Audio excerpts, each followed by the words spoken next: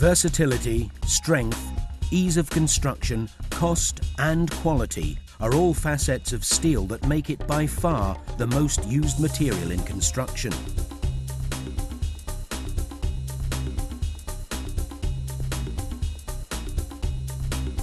But what happens to steel between manufacture and final delivery to a construction project site?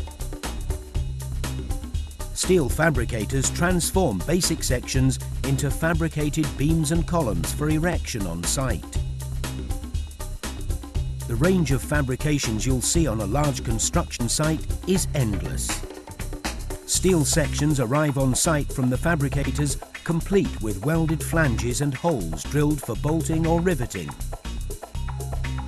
And it's the fabricator's job to ensure that this complex array of materials arrives on site in the order required by the construction contractor. To do this, sophisticated design and tracking systems are utilised so that every section is identified and produced to meet the site construction programme. This helps to ensure that material arrives ready for erection just when it's needed.